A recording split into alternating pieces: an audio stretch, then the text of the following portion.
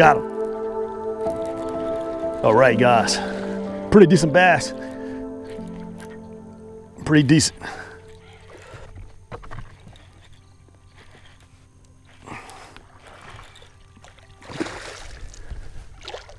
Oh, I foul hooked him. Okay. Here we go. Hey guys, good morning. So look, we're at Headwaters and I just caught this beautiful bass on a Choppo right here. Beautiful, beautiful, man. This guy hit right by a little log sticking out of water. You barely could see the log uh, or the branch. Boom! He knocked, he knocked it out. He's pretty fat, pretty healthy too, guys. But uh, today, uh, we're going to explore Headwaters. We're going to try different spots. And uh, guys, it's supposed to be 70% chance of rain. Let's put them back in the water and uh, let's catch some more fish.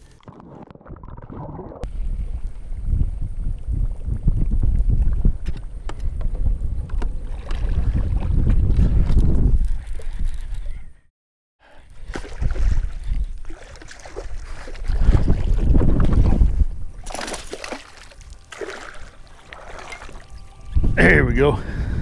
Beautiful bass right here, man. Nice. Right on the edge of this grass right here. So uh, let's let him go. Beautiful, beautiful fish, man.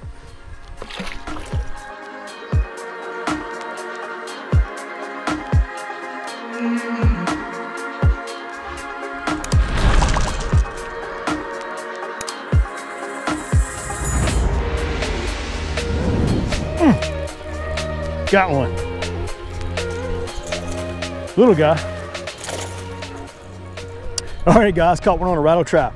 Small guy. Uh, just trying something a little bit different. The water is about 11 feet deep right here, and I see a lot of fish on the depth finder. So I uh, was just trying to see what's down there, see if we can catch some here. Got another one. Ugh.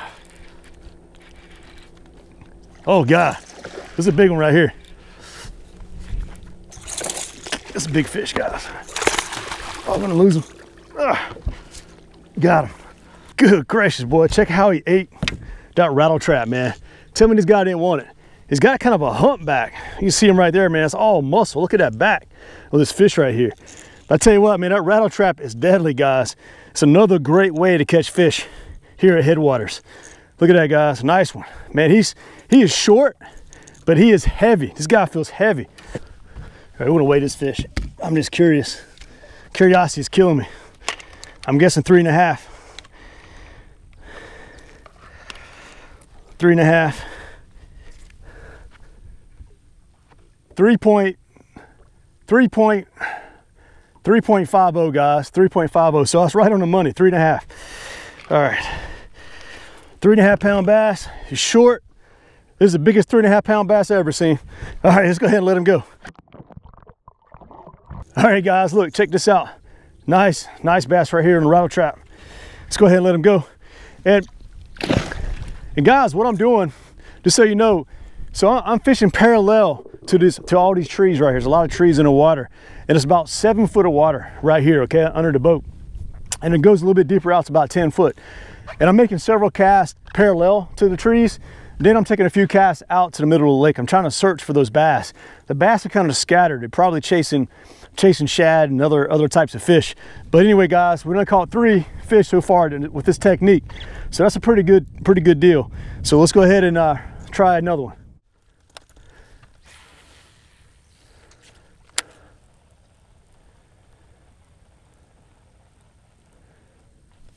Mm, got another one, guys. This feels big right here. This guy feels big. Yep. Big fish.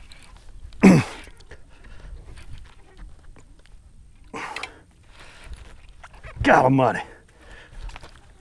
Big fish, guys. Got him. Holy smokes. Woo.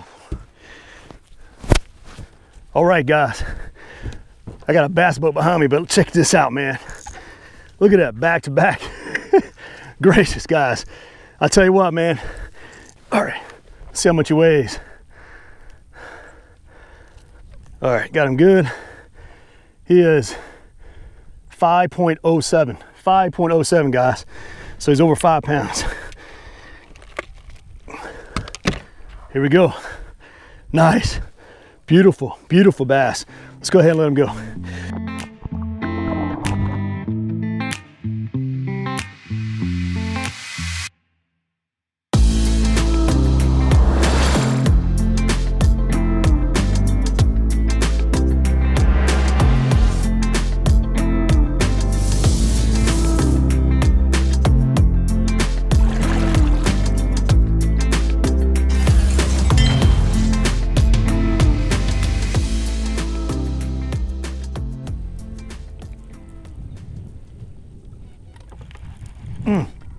Got another fish, guys.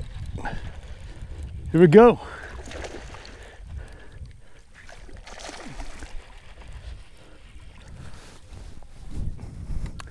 All right. All right, guys, got another fish right here. I went to a shallow running crankbait. I actually made this crankbait two days ago, and uh, it's more of a shad color with uh, a little bit of red on the bottom. I call it blood bluegill, but anyway, guys, let's uh, let's let it go. Ran right over.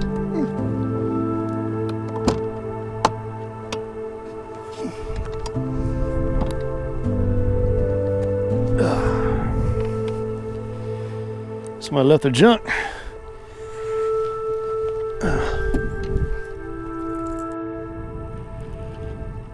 Got another fish. All right.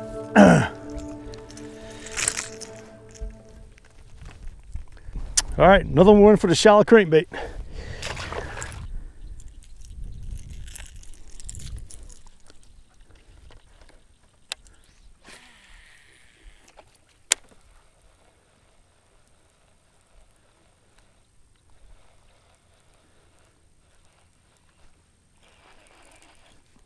Got another fish, guys.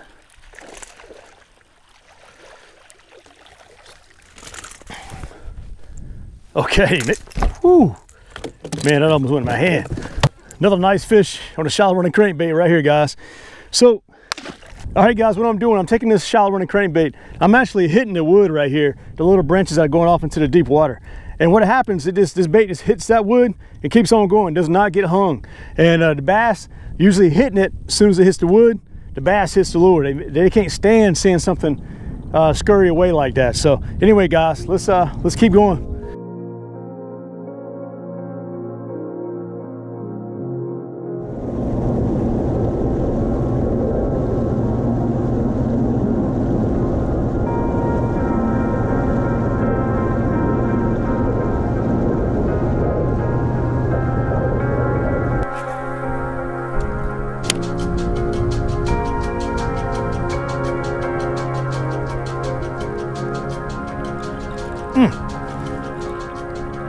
Here we go, guys. Good gracious, man. Woo! Woo!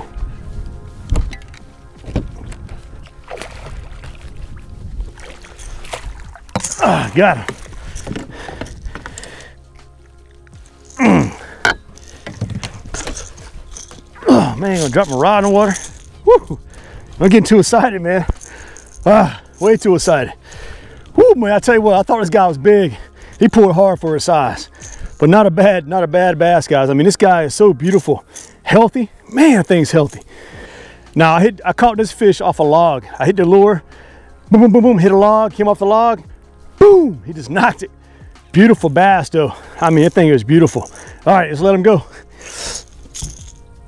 Oh, man. Oh, my goodness, guys. He's not hooked good at all. Man, just check that out. Good gracious. Check it out, guys. Another one. I mean, that's I just caught another fish in the same spot. These guys are just healthy, buddy. This is definitely the right lure today.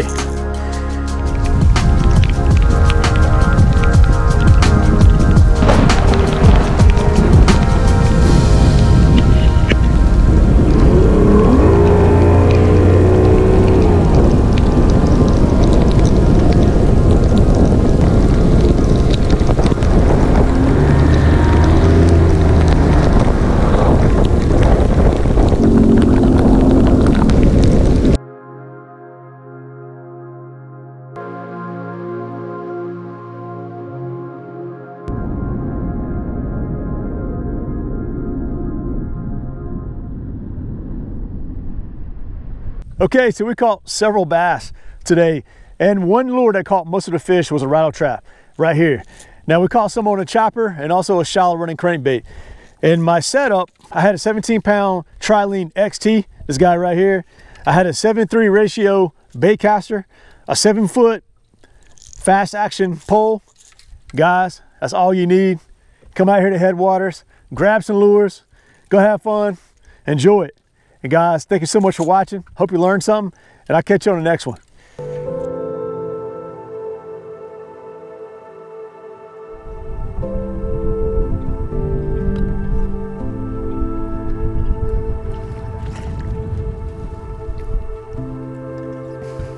Dang.